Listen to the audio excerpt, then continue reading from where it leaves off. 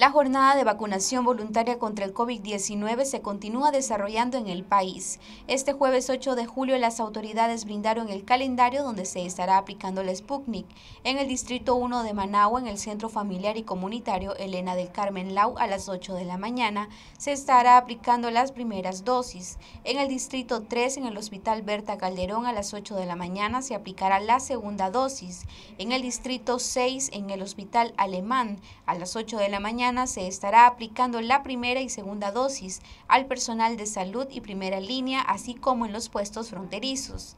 Aquí, en nuestra Nicaragua bendita, seguimos vacunando y seguimos protegiéndonos. Vamos a estar en Managua, en el Centro Familiar y Comunitario Elena del, Elena del Carmen Lau, a las 8 con primera dosis. También en el Hospital Berta Calderón, segunda dosis a las 8 en el Hospital Alemán primera y segunda del personal de salud y primera línea después en los personal de primera línea en puestos fronterizos a las 8 de la mañana.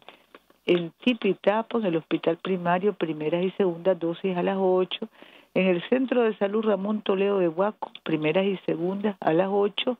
Camuapa, primeras y segundas a las 8. San Lorenzo Huaco, Hospital Primario Poeta Amed Campo, segunda dosis a las 8, Teustepe segunda en el Centro de Salud Santa Rita a las 8, San José de los Remates, Centro de Salud San José, segunda dosis a las 8 y municipio de Santa Lucía, María Antonieta Vendaña, se llama el Centro de Salud, segunda dosis Así es como vamos adelante. Pitapa, Boaco, Camuapa, San Lorenzo estarán aplicando la primera y segunda dosis, mientras Teustepe, San José de los Remates y Santa Lucía estarán aplicando la segunda dosis. Para Noticias 12, Gabriela Solórzano.